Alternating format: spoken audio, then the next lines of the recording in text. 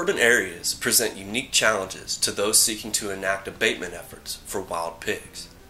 City ordinances and laws, the presence of humans and pets, as well as the relatively small property sizes found in urban areas, often limit the use of many control strategies. While management options are limited, effective strategies do exist for wild pigs in urban areas. Managing for urban hogs is slightly different than rural hogs in the fact that we have to deal with more people. Uh, people tend to be the limiting factor on the ability to trap and be very effective. I typically don't recommend trapping in small properties in urban areas. Trapping is an effective tool in urban areas, but it's a right now solution. The properties are typically uh, from 1 to 10 acres. Those properties are not holding the hogs all day long. They're just showing up of an evening and doing their damage and then they're leaving. In those situations, typically I recommend some kind of exclusionary fence. Exclusionary fencing is probably the best solution a landowner can use with their resources that they have and it's the best investment for their property for the long term. Uh, fencing is a long-term solution.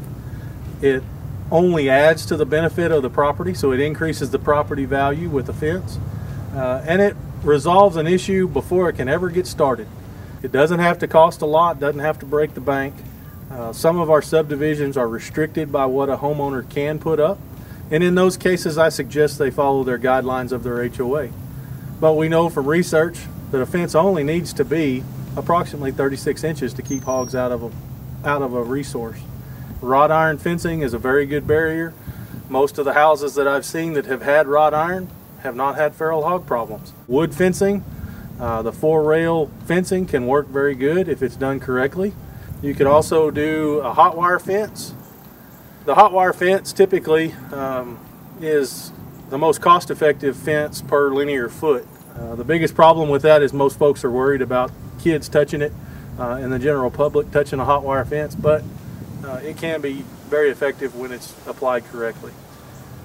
Research indicates that wild pigs will eventually breach most types of fencing.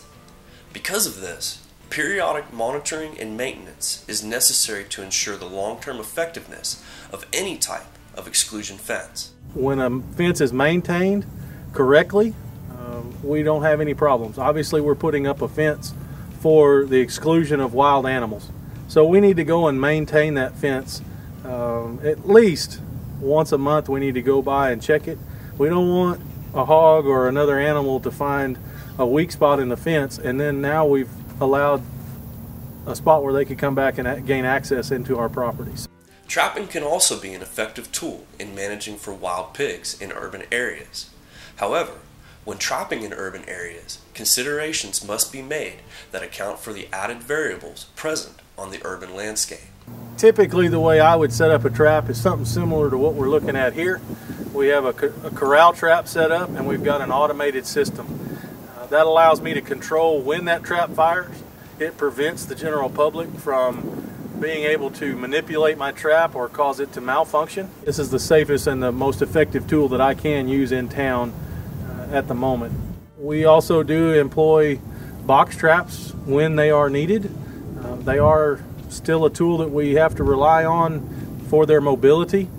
I probably won't catch as many hogs at a, per time, but I can over time I can catch enough hogs in that trap to resolve the issue at hand. As wild pigs continue to encroach upon the urban landscape, exclusion fencing and trapping remain viable tools in abating the damages associated with this exotic invasive species. For more information about wild pigs, their impacts, and how to effectively reduce populations, please visit our website at feralhogs.tamu.edu.